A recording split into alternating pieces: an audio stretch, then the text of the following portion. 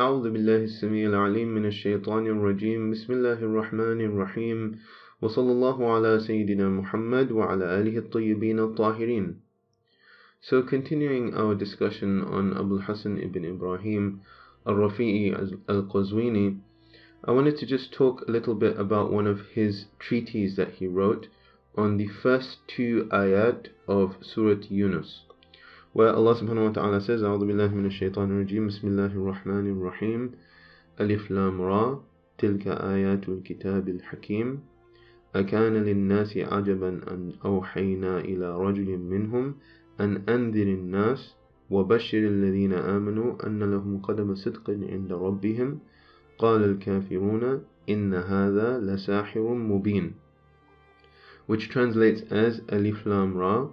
These or those are the verses of the wise book have the people been amazed that we revealed revelation to a man from among them saying warn mankind and give good tidings to those who believe that they have a firm precedence of honor with their Lord but the disbelievers say indeed this is an obvious magician.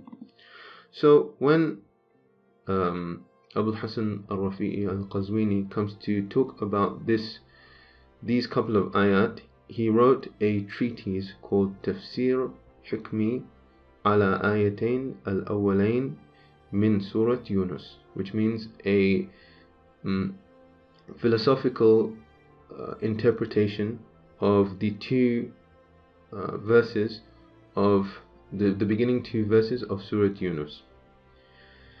So he starts, we're not talking about the Bismillah because, of course, the Bismillah is its own discussion. He starts with Alif Lam Ra.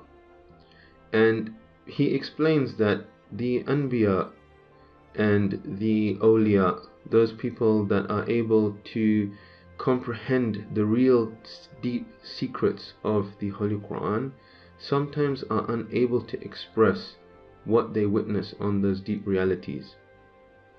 And for that reason, they don't necessarily give a full explanation, but they sometimes express it with something called isharat. Isharat are indications. They indicate towards those realities that are um, deeper within the metaphysical realms.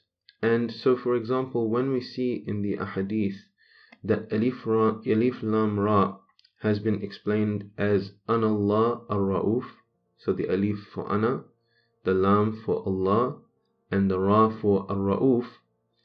What he says here is that although this is an expression and the kind of expression that the anbiya and the awliya meaning the a'imma could express for these deep realities they themselves obviously witness the reality of what they're saying. So this is his point here that while you might see in the riwayat an explanation of alif lam ra as a certain phrase, that is not the limit of what those symbols mean. That's not the limit of what alif lam ra means. It's not the limit of what alif lam mim means. If you see in other riwayat that a certain uh, expression has been given for what they mean, and so on and so forth. So this is the first point that he makes that the Anbiya cannot express everything that they witness. And they are ordered to just speak to people at the level of their intellect. So when we see these verses and when we see the ahadith that are explaining them, we should be aware of this issue. Then he goes to the meaning of tilka.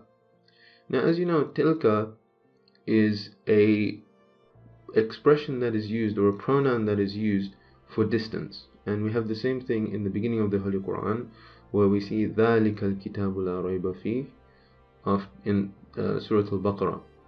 Well, Allah subhanahu wa ta'ala uses the pronoun for distance whereas what we're talking about is something that is right in front of us. So in this instance, Alif Lam Ra are the ayat that are in front of us. But Allah subhanahu wa ta'ala uses the pronoun for distance, saying tilka. And in the same case with in the beginning of Surah Al-Baqarah where Allah subhanahu wa ta'ala says ذَلِكَ الْكِتَابُ لَا رَيْبَ فِيهِ we have the kitab which is the book of Allah subhanahu wa ta'ala in front of our in front of our hands So ذلك الكتاب again is a pronoun for distance for something that we have in our hands. So the pronoun for distance tells us that what is being indicated towards are those deeper metaphysical secrets and meanings. So when we see Alif Lam Ra, Tilka Ayatul Kitab, مثلا, or Tilka Ayatul Kitab, this is what we have here. These, these are the verses of the book. The verses of the book here are indicating towards those deeper meanings.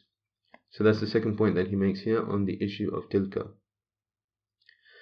As for ayat, ayat are those things that are expressed and so the symbols that are behind Alif Lam Ra are explained as these specific huruf or these specific letters that we see in the beginning of the surah. So tilka ayat, the ayat here being Alif Lam Ra, which are indicating towards those deeper realities that are behind them. Then when he comes on to speak about Al-Kitab, he's talking about, of course, here the Kitab Allah, which can have two meanings. Number one, the existential Kitab Allah, which is the creation, and the Kitab Allah, which is the book of the Holy Quran that we hold in front of our hands. So, as you can see here, there are two levels in, in a general sense that he's talking about the level that is behind, if you like, or the level that is the secrets behind the Holy Quran and the Holy Quran itself. And the words that are being used here can apply to both. So while he doesn't move away from the outward meaning of the Holy Quran, he's also indicating was towards the deeper meanings that are behind it. And this is one of the principles of mystical interpretation that a mystical interpretation shouldn't come out of the outward meaning of what is being said in the verses of the Holy Quran. Then he comes to speak about the word Al-Hakim, because as the ayah says, Tilka ayatul kitab al-Hakim. And what he says here is that the Holy Quran contains both the wisdom that is the wisdom of uh, theoretical wisdom and the practical wisdom as well. This is one meaning of Hakim. The other meaning of Hakim here, he says, is muhkam, which means that its firmness will not be, uh, you know, its firmness in terms of its uh, theoretical strength would not be undone by a number of doubts and questions about it. So this is another uh, meaning of Hakim, and yet another meaning is that it is a book that will not be distorted. Because again, another meaning of Muhkam here, according to Al-Rafi'i Al-Qazwini, is that it is a book that will not be distorted in any way. And the reason for that is also because the book of Allah subhanahu wa ta'ala is not limited to the outward book that we have, the written the written version of the book that we have. Rather the book of Allah subhanahu wa ta'ala is linked to the existential book, which is something that covers all of the different realms. And of course, while you might be able to um, you might be able to distort a written book, there is no way that you can distort the book of existence. So the book of existence is something that will never be changed. And this is what it means here in the terms of the kitab being hakim, the book of Allah subhanahu wa ta'ala, with hakim here having the meaning of muhkam, meaning that it is firm, meaning that it's something that will not be changed by anyone. Or the next meaning that he also offers for Hakim is that it is a book that speaks with wisdom. So, An-Natiq bil Hikam. So, here again is another meaning that he gives in terms of the divine secrets that are contained within the Holy Quran. And then he moves on to an Irfani principle where there is a relationship between the book of Allah subhanahu wa ta'ala which expresses the whole of existence and the spirit of Rasulullah which is the most perfect compilation of Allah subhanahu wa ta'ala's names. And then he gives an indication to where a person can read and understand about these issues more, and he references the third Safar of the Asfar al-Arba'a written by Mullah Sadra, and also the book Mafatih al-Ghaib, where Mullah Sadra has noted many of the principles that one would use for the tafsir of the Holy Quran. But he doesn't just reference the books. Here he says that somebody who wants to really get to grips with what Mullah Sadra is saying is that they should take that understanding from somebody who understands it. A teacher who is a specialist, a teacher who has really understood the meaning of the asfar, so that a person is not confused by their own understanding. Because the book of the asfar has many, many secrets within it, and of course, the uninitiated or the people that generally haven't really got to grips with what the asfar is talking about may not fully understand or may not fully comprehend what Mullah Sadra is trying to say within this work. So now he moves on to the next verse, and the next verse talks about how the kafirin take issue with the Holy Prophet ﷺ, or indeed any man as receiving revelation from Allah subhanahu wa ta'ala. So he starts to explain that this is one of the the kind of doubts that was obviously there, and that doubt was that they did not think that it was possible for a human being and while human beings are all equal amongst themselves, how is it possible for a human being to be able to lead other members of society? And how is it possible that other human beings should obey another human being? Except if it was, of course, by power and they were a king or something like that. Then you're forced, um, you know, from a military perspective. But if it was to do with just following somebody out of your own choice, why would you ever do that? Because all human beings are equal? This is a question that was on the Kafirin's mind. And of course, a question that also occurs in the modern mind as well. Why should we really follow another human being on any issue, on any issue whatsoever? And the answer that the Holy Quran gives to this is that people are not equal. They're, yes, they're equal in the sense that in their humanity they're equal, but people and the nature of people and the perfection of people is something that is graded, something that is not the same for each person. When it comes to, of course, the fact that they're a human being, their physical body, and so on and so forth, yes, there is an equality among human beings. All human beings have physical needs, all human beings have bodies, all human beings have a shared experience in the material world in some way or another. But when it comes to the soul of a person, that is something that is quite different. And the soul of Rasulullah was a soul that was connected to the deeper spiritual realms. And so it is because of his spirit and because of his soul and because of his intellect, which was much higher and connected to the realities, and his heart, which contained all of the beautiful akhlaq, and his soul, which had perfected all of the different capabilities and put them all in the right balance. And it was because of the bringing together of all of those different levels and the perfection of all of those levels together that gave the Holy Prophet ﷺ an aspect of difference. The Holy Prophet ﷺ was not the same as everybody else. Yes, in his body, perhaps, but in his soul, absolutely not. So while in his body he could be with them, he could be close to them, it was something in a sense that was needed for human beings to also build a connection with him. That was not his only aspect. But rather, that bodily aspect of him was also there for a purpose. It was there so that other human beings could be guided. It was there so that other human beings could also feel like they were interacting with a member of their own species. It was not an angel coming down to tell them what their road of perfection is. Rather, it is a human being that has all of the same concerns as they do on the level of their material existence that then tells them how to progress on this path of spirituality and this path of perfection. So it is by that difference between the Holy Prophet وسلم, and the rest of humanity that it was necessary to obey him. So he comes back to speak about the actual ayah, and أوحينا إلى رجل منهم, that we would reveal to a man from among them.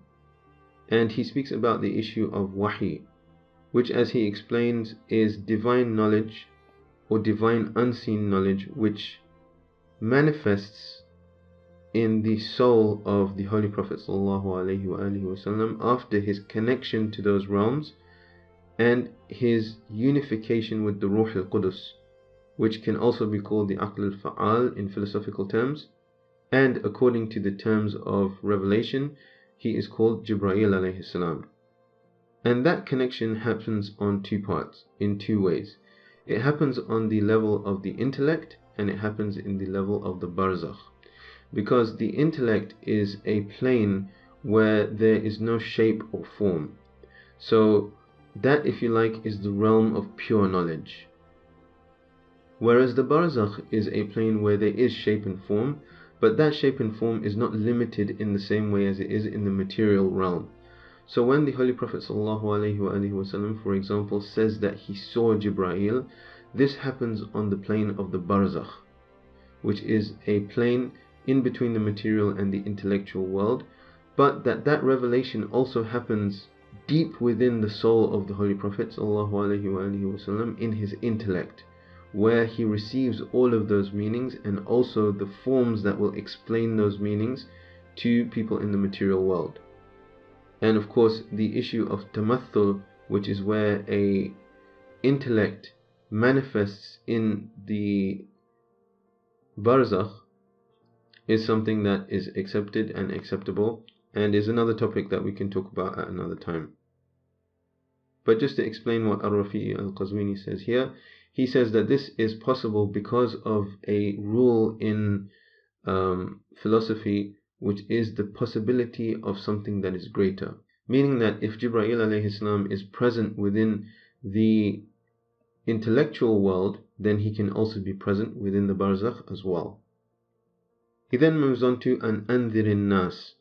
An andirin nas, he says, is to warn and to make people understand the precariousness of their situation.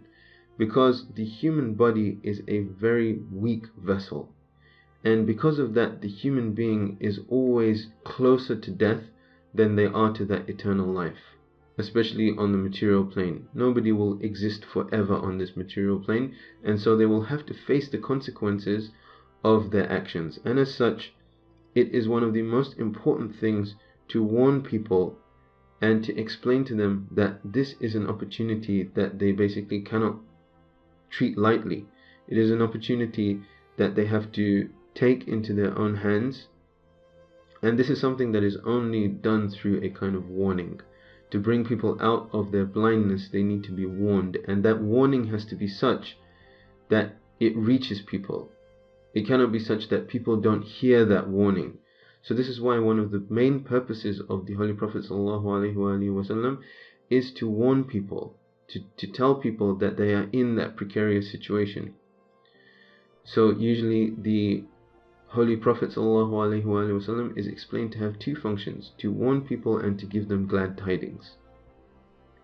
So here he's talking about the issue of warning, but then the next issue is the issue of glad tidings. وَبَشِّرِ الَّذِينَ آمَنُوا أَنَّ لَهُمْ قَدَمَ صِدْقٍ So inshallah, in order to speak more about وَبَشِّرِ الَّذِينَ آمَنُوا أَنَّ لَهُمْ قَدَمَ صِدْقٍ we will speak about that in another video, inshallah. وصلى الله على سيدنا محمد وعلى آله الطيبين الطاهرين